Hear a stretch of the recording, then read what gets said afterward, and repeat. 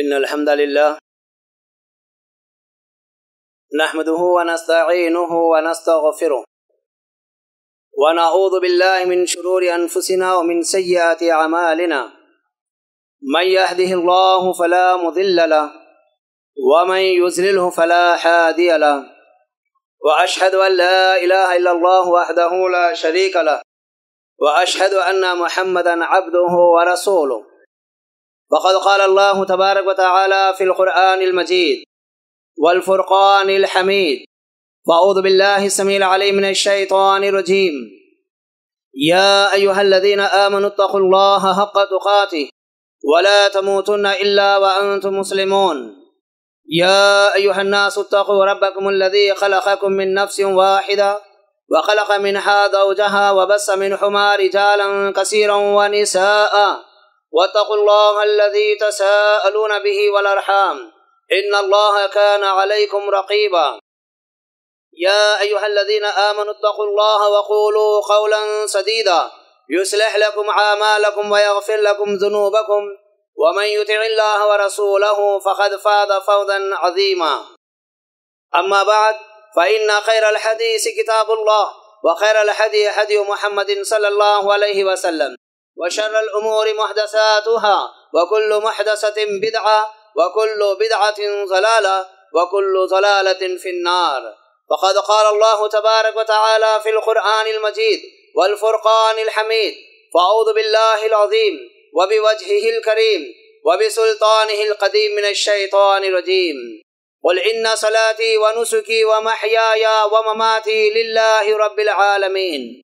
وقال تعالى في موضع آخر وإذ ابتلى إبراهيم ربه بكلمات فأتمهن قال إني جاعلك للناس إماما قال ومن ذريتي قال لا ينال أحد الظالمين. ذی وقار بزرگان اظام معزز و محترم نوجوانوں پردہ نشین خواتین اسلام۔ ہر قسم کی حمد و ثنا، تعریف و توصیف، کبریائی، بڑائی، بزرگی، برتری۔ مالک الملک، اللہ ذوالجلال والاکرام کے لیے لائق و دیبا ہے جس ذات باری تعالیٰ نے ہم تمام کو پیدا کیا اور ہمیں زندگی گزارنے کا طریقہ اور ڈھنگ سکھایا اور اس رب العالمین کا فضل و احسان کہ اس نے ہمیں ضلالت گمراہی اور بے دینی سے محفوظ فرمایا۔ بے شمار درود و سلام ہو انبیاء اکرام پر اور خصوصاً ہمارے نبی جناب محمد رسول اللہ صلی اللہ علیہ وسلم کی ذات مبارکہ پر۔ اللہم صلی علی محمد وعلی علی محمد کما صلیت علی ابراہیم وعلی آل ابراہیم انکا حمید مجید۔ اللہم بارک علی محمد وعلی آل محمد کما بارکت علی ابراہیم وعلی آل ابراہیم انکا حمید مجید۔ عدیدان محترم اللہ رب العالمین کا۔ یہ بہت بڑا فضل و احسان ہے۔ جس کی توفیق سے عید الاضحیٰ کے یہ لمحات ایک مرتبہ ہم پھر گزار رہے ہیں۔ اور یہ دل فریب منظر اللہ ذوالجلال والاکرام کی توفیق اور اس کی عنایت کے سبب ہے۔ معزز حاضرین، یہ دن افضل ترین دن ہے۔ یہ بہت بڑا دن ہے اور اس دن کو یوم النہر کہا جاتا ہے۔ اور آپ کو معلوم ہونا چاہیے، ابراہیم علیہ السلام کی وجہ سے یہ دن ہمیں نصیب ہوا ہے اور آج ہم ابراہیم علیہ السلام کی سنت کی تکمیل کے لیے اکٹھا ہوئے ہیں۔ قربانی سے لے کر حج کے تمام جتنے ارکان ہیں، یہ سب ابراہیم علیہ السلام، حاجرہ اور اسماعیل علیہ السلام کی سنتیں ہیں، ان کے شعائر ہیں۔ اگر ان میں سے کوئی ایک چیز کو چھوڑ دے تو اس سے حج بھی مکمل نہیں ہوگا۔ عزیزان محترم اللہ کے نبی جناب محمد رسول اللہ صلی اللہ علیہ وسلم فرماتے ہیں کہ اے لوگو، یہ بات جان لو، یہ جتنے مقدس شاعرہ ہیں یعنی جتنی یہ علامتیں ہیں، یہ سب تمہارے باپ ابراہیم علیہ السلام کی وراثت سے تمہیں ملی ہیں۔ عزیزان محترم، اس دنیا میں انسان بے شمار انسان گزرے ہیں، لیکن ابراہیم علیہ السلام کو جو مقام نصیب ہوا جو مقام عطا ہوا، اللہ ذوالجلال والاکرام نے آپ کو جس منصب پر فائز کیا، یہ آپ اس میں تنہا ہے آئیے عزیزان محترم، اللہ ذوالجلال والاکرام ابراہیم علیہ السلام کے تعلق سے کہتا ہے، ان ابراہیم کانا امتن خانتا للہ حنیفا ولم یک من المشرکین شاکر لعنہمہ اجتباہ وحداہ الى صراط مستقیم۔ یہاں پر اللہ حضور جلال والاکرام نے ابراہیم علیہ السلام کو ایک امت قرار دیا ہے اور کہا کہ یہ ابراہیم اللہ حضور جلال والاکرام کے فرما بردار بندے ہیں اور ولم یکو من المشرکین، یہ اللہ کی ذات کے ساتھ شرک کرنے والے نہیں ہے اللہ حضور جلال والاکرام نے انہیں اپنی نعمتیں دی ہے تاکہ اس کا شکر بجا لائیں اور اللہ نے ان کو چن لیا ہے اور ان کو صراط مستقیم کی ہدایت دی ہے۔ اور اس کے بعد، وَآتَيْنَاهُ فِي الدُّنْيَا حَسَنًا وَإِنَّهُ فِي الْآخِرَةِ لَمِنَ الصَّالِحِينَ۔ اور اللہ رب العالمین نے دنیا کے اندر بھی ان کو بھلائی عطا کی ہے اور آخرت میں بھی اللہ رب العالمین ان کو صالحین میں شمار کرے گا۔ عزیزان محترم، اللہ رب العالمین نبی کریم صلی اللہ علیہ وسلم کی طرف وہی کرتے ہوئے فرماتا ہے، ثم اوحینا الیکا ان اتبع ملت ابراہیم حنیفا وما کان من المشرکین کہ اے نبی نبی صلی اللہ علیہ وسلم کی طرف وحی کی گئی ہے۔ پھر ہم نے آپ کی طرف وحی کی ہے کہ آپ ہم نے ابراہیم آپ ابراہیم علیہ السلام کی ملت کی اتباع کریں۔ ملت کی پیروی کریں اور یہ بات جان لیں۔ وما کان من المشرکین وہ مشرکین میں سے نہیں تھے۔ عزیزان محترم، ابراہیم علیہ السلام کو اللہ جلال والاکرام نے اپنا فرما بردار بتایا ہے اور اپنی اطاعت، اپنا اطاعت گزار بتایا ہے۔ آئیے، مختصر طور پر ابراہیم علیہ السلام کے تعلق سے ہم جان لیں۔ ہم نے ابراہیم علیہ السلام کے تعلق سے تو بہت ساری باتیں جانی ہیں، لیکن اس سے ہمیں کیا درس ملتا ہے؟ کیا سبق ہمیں ملتا ہے؟ کیوں ہم بار بار ابراہیم علیہ السلام کا تذکرہ کرتے ہیں؟ عزیزان محترم اللہ جلال والاکرام نے ایک ایسے شہر کے اندر ابراہیم علیہ السلام کو پیدا کیا، جہاں پر ہر طرف کفر اور شرک کا دلدل تھا۔ ہر طرف برائی پھیلی ہوئی تھی اور پھر برائی اور گھٹا، برائیوں کے اور خرافات کے گھٹا گھٹاٹوپ اندھیرے تھے۔ ایسے وقت میں اللہ ذوالجلال والاکرام نے اپنے اس بندے کو پیدا کیا اور اس بندے نے جب ان کو نبوت سے سرفراز کیا گیا اللہ حضور جلال والاکرام پر ان کا ایمان، ان کا یقین، ان کا صبر، ان کی استقامت، ان کا استقلال، یہ سب چیزیں دیکھیے کیسے اللہ حضور جلال والاکرام نے اس بندے کے اندر عطا کی تھی۔ آپ نے اپنے باپ سے دعوت شروع کی۔ وَإِذْ قَالَ إِبْرَاهِمُ لِأَبِيهِ آدَرَ أَتَتَّخِذُ أَسْنَامًا عَالِحًا إِنِّي أَرَاكَ وَقَوْمَكَ فِي ظَلَالٍ مُبِينٍ۔ اور جب ابراہیم علیہ السلام نے اپنے باپ آزر سے کہا کہ اے میرے باپ آزر تم اور تمہاری قوم کن لوگوں کی عبادت کرتے ہو؟ تم ان معبودوں کی عبادت کرتے ہو۔ اور جان لو، تم جن کی عبادت کرتے ہو، اس بنیاد پر میں تم کو اور تمہاری پوری قوم کو کھلی ہوئی گمراہی میں دیکھ رہا ہوں۔ اور ابراہیم علیہ السلام اپنے باپ سے بڑے پیارے انداز میں کہتے ہیں، یا ابتی، لا تعبد الشیطان، ان الشیطان کان للرحمن عصیا۔ اے میرے ابا جان، آپ شیطان کی عبادت مت کیجیے۔ لا تعبد الشیطان، شیطان کی عبادت مت کیجیے، اور یہ بات جان لیجیے کہ یہ شیطان رحمان کا نافرمان ہے۔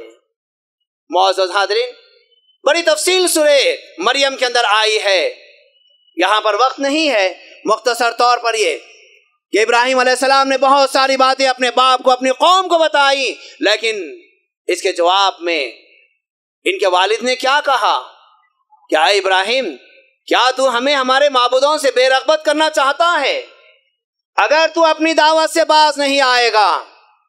لَإِن لَمْ تَنْتَهِ لَأَرْجُمَنَّكَ وَحْجُرْنِ مَلِيًّا کہ میں تجھے پتھروں سے مار کر سنسار کر دوں گا، اور تو میرے پاس سے ہمیشہ کے لیے دور ہو جا۔ ایک بیٹا اپنے باپ کی ہدایت کے لیے کوشش کر رہا ہے، اور بندوں کی بندگی سے نکال کر رب کی بندگی کی طرف لانا چاہتا ہے۔ اس پیارے بیٹے کو باپ کا اتنا سخت ترین جواب ملا۔ ابراہیم علیہ السلام نے اپنے باپ کے لیے سلامتی کی دعا کرتے ہوئے آپ نے ہجرت کی۔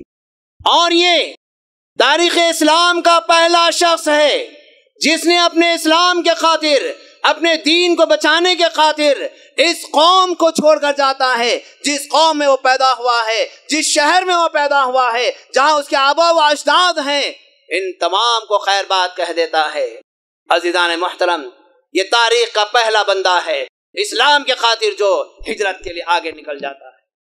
اتنے ہی نہیں، اللہ جلال علیہ السلام نے کہا، وَإِذِ بِتَلَا إِبْرَاهِيمَ رَبُّهُ بِكَلِمَاتٍ فَاتَمَّهُنْ ہم نے ابراہیم علیہ السلام کو چند چیزوں میں آزمایا اور ابراہیم علیہ السلام اس میں کامیاب ہو گئے۔ مختصر طور پر یہ، آپ یہاں سے نکلے۔ رب تبارک و تعالیٰ سے دعا کی۔ ربی حبل من الصالحین، اور اس سے پہلے قوم والوں نے ایسے ہی نہیں چھوڑ دیا۔ کہا کہ یہ ابراہیم ہمارے معبودوں کی توہین کرتا ہے ہمارے معبودوں کو برا بلا کہتا ہے۔ اس کو تو سخت ترین سزا دی, دی جانی چاہیے۔ اور ایسی سزا ابراہیم کو ہونا چاہیے کہ سابق میں اس کی کوئی مثال نہ ملتی ہو اس کے لیے انہوں نے آگ جلایا۔ اور اس وقت آپ ذرا اندازہ لگائیں تنے تنہا بندہ ہے۔ قصور کیا ہے؟ رب کی واحدانیت کا اقرار کیا ہے؟ قوم کے سامنے توحید کو پیش کیا ہے۔ قوم کو توحید کی دعوت دی ہے، برداشت نہیں ہوا۔ آخر کار ابراہیم علیہ السلام کے لیے آگ تیار کی گئی۔ وہی ہوا جو رب کو منظور تھا۔ آگ میں ڈالا گیا۔ بڑا عجیب منظر ہے۔ ابراہیم علیہ السلام، ہوا کا فرشتہ بھی آیا۔ بارش کا فرشتہ بھی آیا۔ ابراہیم نے کسی کی مدد نہیں کی لی۔ آخری الفاظ جو ابراہیم علیہ السلام کی زبان سے نکلے۔ حسبی اللہ نعم الوکیل۔ میرے لیے تو میرا اللہ کافی ہے۔ یہ اتنا ایمان، اتنا پختہ ایمان۔ اور آپ کا یہ صبر، یہ استقامت، رب کی ذات پر یہ کامل ترین بھروسہ، یہ سارے آنے والے قوموں کے لیے ایک بہترین پیغام ہے۔ اتنی بڑی مصیبت تو انسانوں پر نہیں آتی جتنی بڑی ابراہیم علیہ السلام پر آئی تھی۔ ابراہیم علیہ السلام نے کہا کہ مجھے کسی چیز کی ضرورت نہیں۔ میرا رب میرے لیے کافی ہے جو بہترین کام بنانے والا ہے۔ رب سلجلال والاکرام نے آگ کو حکم دیا۔ قلنا یا نارو بردم و سلام علی ابراہیم۔ ہم نے کہا کہ آئے آگ تو ابراہیم علیہ السلام کے لیے ٹھنڈی اور سلامتی والی بن جا۔ آگ ابراہیم علیہ السلام کو جلانے سے اپنے آپ کو روک لی۔ وہاں سے نکلے۔ اللہ ذوالجلال والاکرام سے دعا کی۔ ربی حبل من الصالحین۔ اے اللہ، مجھے ایک صالح لڑکا دے۔ سارا خاندان چھوٹ گیا ہے۔ بستی کو چھوڑ دیا ہوں۔ اے اللہ، اب میرے لیے ایک لڑکا عنایت فرما دے۔ ذرا غور کر کے دیکھے، تنہائی کے اندر رب کے سامنے یہ بندہ اللہ سے مانگتا ہے اور یہ پیغام ہے ان سارے لوگوں کو جو غیروں کے پاس جا کر مانگتے ہیں۔ جلیل القدر پیغمبر اللہ کے سامنے ہاتھ اٹھا کر کہتا ہے، ربی حبل من الصالحین۔ اور اللہ کا جواب دیکھیے فبشر نہ غلام حلیم ہم نے انہیں کہا کہ ہم تمہیں صالح لڑکا نہیں، بلکہ ایک بردبار لڑکا دیں گے۔ جو طبیعت کے اعتبار سے نرم ہوگا، مزاج کے اعتبار سے نرم ہوگا، حالات پر صبر کرنے والا ہوگا فبشر نہ ہو غلام حلیم اللہ نے کہا، ہم نے خوشخبری سنائی ہے ابراہیم کو، بردبار لڑکے کی۔ ایک لڑکا ملا ہے۔ اللہ نے کہا کہ جا ابراہیم، اس سنگلاخ وادی کے اندر، جہاں پر کوئی انسان بسنے والا نہیں ہے، کوئی چرند پرند موجود نہیں ہے۔ کوئی جھاڑ اور پانی کا کوئی چشمہ موجود نہیں ہے۔ اس مقام پر اپنی بیوی کو اور بچے کو چھوڑ آؤ۔ کیسی آزمائش ہے؟ اللہ رب العالمین کے حکم پر ابراہیم علیہ السلام اس لخت جگر کو اور اس اس کی ماں کو وہاں پر چھوڑ آتے ہیں جہاں پر زمزم کا کنواں آج موجود ہے۔ اتنے پر اکتفا نہیں کیا گیا؟ اسی پر اکتفا نہیں ہوا۔ جب یہ لڑکا چلنے پھرنے کے قابل ہوا، دوڑنے کے قابل ہوا اور یہ عمر ماں باپ کے لیے بچوں کی یہ عمر بڑی بھلی معلوم ہوتی ہے۔ لاڑو پیان لگاؤ بہت زیادہ ہو جاتا ہے۔ اللہ والاکرام نے خواب کے ذریعے پیغام پہنچا دیا۔ آ کر بیٹے سے کہنے لگے، یا بنیا، انی ارا فی المنامی، انی ازبہو کا فنظر مازا ترا۔ اے میرے بیٹے، میں نے خواب میں دیکھا ہے کہ میں تجھے زبا کر رہا ہوں۔ بتا تیری کیا رائے ہے؟ کیا پیغام ہے باپ کا؟ اور وہ فرما بردار بیٹا، اپنے باپ کو کیا جواب دیتا ہے؟ یا ابتی فعل ما تو عمر، ستجدونی انشاءاللہ من الصابرین۔ اے میرے ابا جان، آپ کو رب کی جانب سے جو حکم ملا ہے، آپ وہ کام کریے اور آپ مجھے صبر کرنے والوں میں سے پائیں گے۔ کیا ایسا صبر؟ اس کا عشر اشیر بھی ہمارے اندر موجود ہے؟ نہیں۔ کیسا پیارا صبر! اور کیا پیاری گفتگو. اور عزیزان محترم، زمین و آسمان نے ایسا منظر پھر کبھی نہیں دیکھا ہوگا، نہ اس سے پہلے کبھی دیکھا ہوگا۔ وہ باپ اپنے لخت جگر کو لٹا دیتا ہے۔ فلما اسلم للجبین۔ اور جب انہوں نے اپنے بیٹے کو پیشانی کے بل زمین پر لٹا دیا زبا کرنا چاہتے تھے۔ رب تبارک و تعالی آواز دے کر کہا کھلنا ہم نے کہا، یا ابراہیم، اے ابراہیم قد صدقت الرؤیا تو نے اپنے خواب کو بالکل سچ کر دکھایا ہے۔ انا کذالک نزل المحسنین۔ ہم محسنین کو ایسا ہی بدلا دیتے ہیں۔ اور اسی میں اللہ رب العالمین نے کہا، ان هذا له البلاء المبین اور ابراہیم، یہ تمہاری جو آزمائش ہے، یہ بڑی کھلی آزمائش ہے، بڑی واضح آزمائش ہے۔ ذرا غور کر کے دیکھیں۔ کیسے حالات سے ابراہیم علیہ السلام گزرتے عزیزان محترم، کیا ہم کو اس سے پیغام ملا ہے؟ کیا اس سے ہم کو درس حاصل ہوا ہے؟ اور آئیے، یہ اعزاز ہے ہمارے لیے۔ ہم نے اس کو نہیں سمجھا۔ دنیا ابراہیم علیہ السلام کی ایک ایسی شخصیت ہے۔ سارے مذاہب والے ابراہیم علیہ السلام کو مانتے ہیں۔ یہودی بھی کہتے ہیں کہ ابراہیم علیہ السلام ہمارے اپنے ہیں۔ نصارہ کے بھی یہی دعویٰ ہے۔ مشرقین کا بھی یہی دعویٰ تھا۔ لیکن اللہ ذوالجلال والاکرام نے یہ اعزاز مسلمانوں کو عطا کیا ہے، مسلمانوں کے لیے دیا ہے۔ کہہ دیا اللہ ذوالجلال والاکرام نے، ما کان ابراہیم یہودیوں ولا نصرانیوں ولیکن کان حنیفا مسلما۔ یہ ابراہیم نہ تو یہودی ہیں، نہ نصرانی ہے ولیکن کان حنیفا مسلما۔ یہ ابراہیم تو مسلمان ہے اور یہ مشرقین میں سے بھی نہیں ہے۔ عزیزان محترم، ابراہیم علیہ السلام کو مسلمان جتنا زیادہ یاد کرتے ہیں، اتنا کوئی اور قوم یاد نہیں کرتی۔ اور بہت افسوس کی بات ہے، آج ہمارے پاس بھی بارہا یہ کہتے ہیں کہ جیسے ہی اشرا ذیل حجا شروع ہو گیا، ابراہیم علیہ السلام کی یاد تازہ ہوتی ہے۔ میں ایسے لوگوں کی مخالفت کروں گا۔ ابراہیم علیہ السلام مسلمانوں کے پاس روزانہ کئی مرتبہ ابراہیم علیہ السلام کی یاد ہوتی ہے۔ روزانہ مسلمان یاد کرتا ہے۔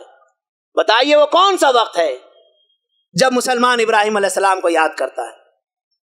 ہمیشہ ابراہیم علیہ السلام کی ایک مسلمان یاد کرتے رہتا ہے۔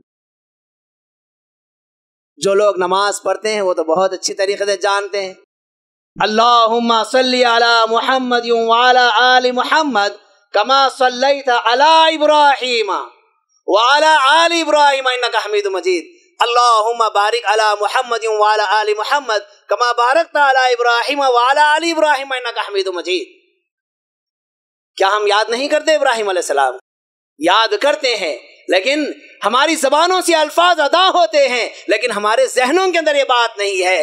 ایسی شخصیت جس کی اتباع کے لیے اللہ جلال ذوالجلال والاکرام نے سارے انبیاء اکرام کو ابراہیم علیہ السلام کے بعد سے اور خصوصاً ہمارے نبی صلی اللہ علیہ وسلم کو اور ہم کو بھی تعلیم دی ہے کہ اس نبی کی اتباع اور پیروی کرے۔ اسی میں ہمارے لیے کامیابی ہے۔ اگر ہم ابراہیم علیہ السلام کی اتباع کریں گے، سب سے پہلی چیز ہمارے اندر توحید آ جائے گی۔ ابراہیم علیہ السلام کی اتباع کریں گے، ہمارے اندر توکل آ جائے گا۔ ابراہیم علیہ السلام کی اتباع کریں گے، ہمارے اندر استقامت آ جائے گی۔ ابراہیم علیہ السلام کی اتباع کریں گے، ہمارے اندر استقامت آ جائے گی۔ ابراہیم علیہ السلام کی اتباع کریں گے، ہمارے اندر صبر آ جائے گا۔ یہ ایسی چیزیں ہیں جو ایک بندے کو ایمان پر قائم رکھنے کے لیے انتہائی اہم ترین چیزیں ہیں۔ اور یہ ساری چیزیں ابراہیم علیہ السلام کے ذریعے سے ہمارے اندر آ سکتی ابراہیم علیہ السلام کی اتباع سے ہمارے اندر آ جاتی ہیں۔ عزیزان محترم یہ بات یقین سے جان لیں۔ صرف ابراہیم علیہ السلام کا نام زبان سے لینے سے ہماری کامیابی اور کامرانی نہیں ہے، اتباع سے ہے۔ وَمَن يَرْغَبُ أَم مِّلَّةِ إِبْرَاهِيمَ إِلَّا مَن صَفِيَ نَفْسَهُ وَلَقَدِ اسْتَفَيْنَاهُ فِي الدُّنْيَا۔ اللہ رب العالمین نے کہا، جو لوگ ابراہیم علیہ السلام کی اتباع سے بے رغبتی بڑھتے ہیں، یہ لوگ بے وقوف ہیں۔ بے وقوف ہیں۔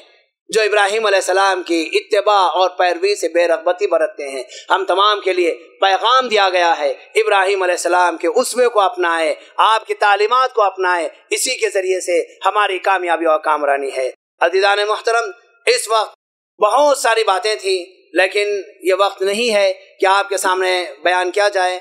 میں ایک دو باتیں جو بہت ہی اہم ہے آپ کے سامنے رکھ دینا ضروری سمجھتا ہوں۔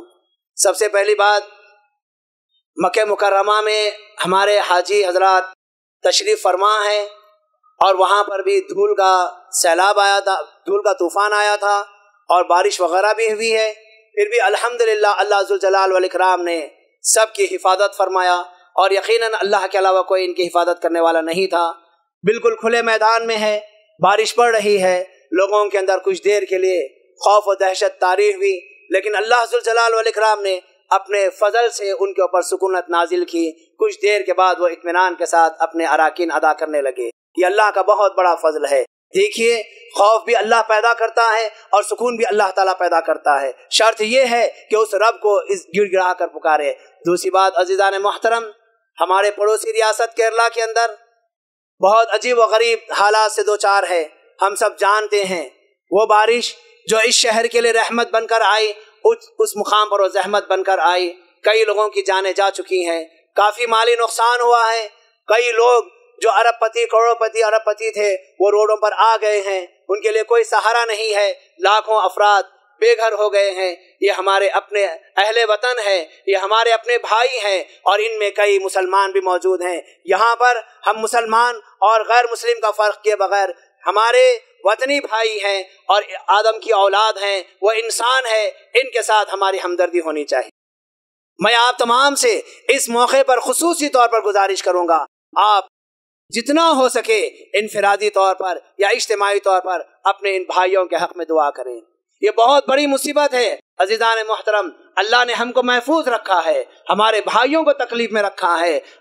پتا نہیں، اللہ ذوالجلال والاکرام ہماری کسی غلطی سے ناراض ہو جائے اور ہماری وہ حالت کر دے، اللہ کے لیے کوئی عجب بات نہیں ہے۔ لیکن اللہ تبارک و تعالیٰ نے ہم کو موقع دیا ہے، ہم اپنے رب کو بھی راضی کریں اور ان کے حق میں بھی دعا کریں اور ان کے لیے دل کھول کر مالی تعاون کریں۔ الحمدللہ جمعیت اہل حدیث حیدرآباد اور سکندر آباد کے ذریعے سے یہ اعلان ہو چکا ہے اور یہ اعزاز سب سے پہلے ریلیف کا اعلان جمعیت اہل حدیث کی جانب سے ہوا ہے اور الحمدللہ ریلیف جمع ہونا بھی شروع ہو گیا ہے سوائے کپڑے کے، خوردنی اشیاء اور پیسہ وغیرہ اصول کیا جا رہا ہے۔ آپ رسید کے ذریعے سے ضرور حاصل کریں۔ انشاءاللہ ابھی والنٹر باہر ٹھہریں گے۔ اور آپ کے سامنے آجیز ہوئے، ان کے ساری کرتے ہوئے اپنے بھائیوں کے لیے دس دراز کریں گے۔ آپ ضرور ان کے لیے دیجیے اور اللہ کے پاس اجر پائیے۔ اور انشاءاللہ العزیز، آپ کا ایک ایک روپیہ انشاءاللہ پوری امانت داری کے ساتھ اس قوم تک یا کیرلا والوں تک پہنچایا جائے گا۔ عزیزان محترم، یہ ضروری باتیں تھیں